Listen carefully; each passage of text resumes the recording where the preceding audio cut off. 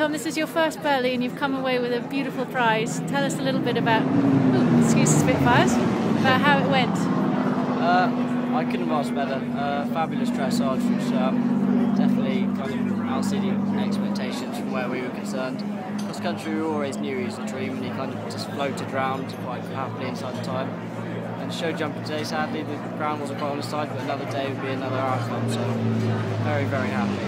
And you have um, you have a ton. Tell us, you have a ton of experience on the ponies in the juniors. Tell us what you've done. Uh, I did ponies when I in 2006 with a pony called Dictator in Germany, and I I've just done the uh, Young Rider Europeans up in Blair, and had another team gold and individually fourth again. I also did Young Riders last year as well, but I missed out juniors to crack on doing two stars. And how big a difference is it coming from Young Riders straight to Burghley? Yes, it's, it's, a massive difference, but this is uh, one that I'd uh, love to uptake a few more times in a year. Tell us a little about Dry Old Party. We just found out today that he's by Desperado, the same size as Best Mate. Yeah, he is the same size as Best Mate. It's probably where half his speed comes from.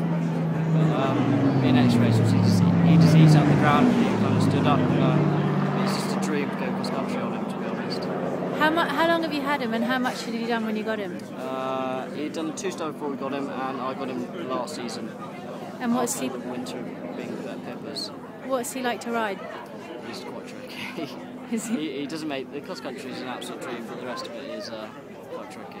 Tricky how?